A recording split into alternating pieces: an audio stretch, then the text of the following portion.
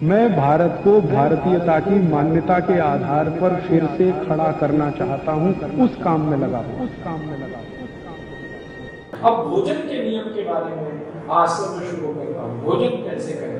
भोजन के बारे में पहला नियम है कि जब भी खाना खाएँ तो खाने को इतना चबाएँ कि जितने आपके दांत माने धीरे धीरे चबा चबा कर खाना खाएँ। जल्दी जल्दी कभी भी खाना ना अब जितने हमारे दांत उतनी बार चबाएँ, इसका मतलब सीधा सा ये है कि रोटी का एक टुकड़ा मुँह में रखा तो कम से कम 32 बार चबाएँ, क्योंकि 32 दांत अब आप धीरे धीरे चबा चबा कर खाना खाएँगे तो परिणाम क्या होगा?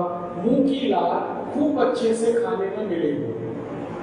और ये मुँह की लार है ना, अंदर जाकर पेट के अंदर को शांत करेगी तो खाना बचने का क्रिया शुरू होगा। तो खूब अच्छे से मुँह की लार खाने में मिलकर जाएगी तो खाना सबसे जल्दी बचेगा इसलिए कभी भी जल्दी जल्दी खाना ना खाएँ। धीरे धीरे आराम आराम से चबा चबा कर खाना खाए। ये खाने का पहला इसके आगे का दूसरा नियम, खाने का। कि कभी भी खाना ज़मीन पर बैठकर खाना। खड़े खड़े खाना ना खड़े खड़े पानी भी नहीं पीना है, खड़े खड़े खाना भी नहीं सकते। ज़मीन पर बैठ के खाना खाए। मैं ऐसे बैठा हूँ, आप तो कुर्सी में बैठे हैं। ये कुर्सी में बैठ के भी खाना नहीं खा ये बिल्कुल शास्त्र में वर्जित है। ज़मीन पे बैठे ज़मीन पर बैठने का कारण मैं बता चुका हूँ कि जब आप ज़मीन पे बैठे होते हैं तो गुरुत्व केंद्र नाभि पर है। नाभि पूरी तरह से उसके प्रभाव में है। उसको हम अंग्रेज़ी में कहते हैं नाभि चार्ज। गुरुत्व केंद्र से, गुरुत्व बल से। नाभि के चार्ज होने से जठर भी चार्ज है। जठर चार्ज है तो अग्नि ज़्यादा है। अग्नि ज़्यादा है तो जो खाएँगे वो जल्दी पचेगा। इसलिए बैठ के खाना खड़े खड़े तो कुर्सी पे भी बैठ के ना खाए, ज़मीन पे बैठ के खाए। तो बहुत लोग मुझे ये कहते हैं कि जी डाइनिंग टेबल ले लिया। तो मैं उनको कहता हूँ बेच दो वापस। कुछ काम का तो वो है नहीं। आप अगर हिसाब लगाओगे, चेन्नई जैसे शहर में एक स्क्वायर फीट ज़मीन यहाँ कितने की है सात हज़ार मान लो आठ हज़ार एक स्क्वायर फीट डाइनिंग टेबल कितने स्क्वायर फीट का? दस बाई दस का मान लें। या दस बाई आठ का, दस बाई दस का तो सौ स्क्वायर फीट अब सौ स्क्वायर फीट ज़मीन आपने फोकट में दे रखी है डाइनिंग टेबल को जो आठ हज़ार रुपए स्क्वायर फीट के भाव की है, जिसका कोई उपयोग नहीं होता। और उपयोग तो हो ही नहीं रहा। जगह और घेर रखी। सफ़ाई करने में भी तकलीफ़ आती है। तो आपने तो कहा कि हमने तो घर की शान बढ़ाने के लिए लाई है तो उससे शान बढ़ गई है या ज़िंदगी खराब हो गई?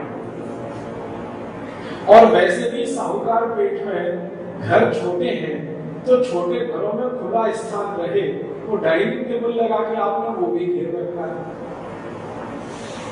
घर के बारे में एक बात आप हमेशा याद रखिए वास्तु में भारतीय वास्तु जो है ना, भारतीय वास्तु, उसमें बहुत स्पष्ट कहा गया घर में स्थान जितना खुला होगा, आपका दिल और दिमाग उतना ही खुला होगा। और घर में स्थान जितना घिरा हुआ होगा, संकुचित, दिल और दिमाग दोनों संकुचित होंगे। बात करता हूँ, यही राजस्थान के लोग हैं, गुजरात के लोग हैं, इसी क्षेत्र में। जो छोटे छोटे घरों में रहते हैं तो संकुचित दिमाग और इन्हीं के गाँव राजस्थान में, गुजरात में, इतने बड़े बड़े घर वाले एक एक घर जो है ना, एक एक बीघे में। तो वहीं जब ये रहते हैं तो खुले दिल दिमाग पर फिर कोई लोग कहते हैं कि जी, बीस हज़ार में खरीदा था, पच्चीस हज़ार में खरीदा था। कई बार गलती हो जाती है, कचरा खरीद लेते हैं। तो ये थोड़ी है कि कचरा खरीद के घर में रखे। गलती हो गई। बीस पच्चीस हज़ार गया तो गया। आगे की ज़िंदगी के लिए तो उसको ध्यान रखिए। तो या तो इसको बेच दीजिए। नहीं तो दूसरा उपाय बताता कि इस डाइनिंग टेबल के पैर काट लीजिए पैर काट लीजिए तो साध्वी जी जैसे बैठी है, ऐसे ही ये पटरा हो जाएगा आप ज़मीन पे बैठ जाइए खाली उसको रख लीजिए, खाना खा लीजिए। अगर उसका सदुपयोग करना है तो ये तरीका है। नहीं तो मेरी तो आपको विनती है, प्रार्थना कि जिनके घर में डाइनिंग टेबल नहीं आया, कभी मत लाइए। अगर नहीं लाया है, आप बहुत भाग्यशाली है, आगे भी मत लाइए। एक तो जगह मत घेरिए उसको और फालतू में कुर्सी पर बैठ के खाना खाएँ और अपना पेट खराब करे, शरीर खराब करे। ज़मीन पर बैठ के खाना खाना सबसे अच्छा है। भारत में हज़ारों साल से यही व्यवस्था रही। और मैं आपको ये बात कहना चाहता हूँ कि जब तक भारतवासी ज़मीन पर बैठकर खाते रहे, किसी का पेट कभी भी बाहर नहीं आया हमारे दादा दादी को देख ले, नाना नानी को जैसे ही हमने ज़मीन छोड़ी और मेज कुर्सी पे गए पेट बाहर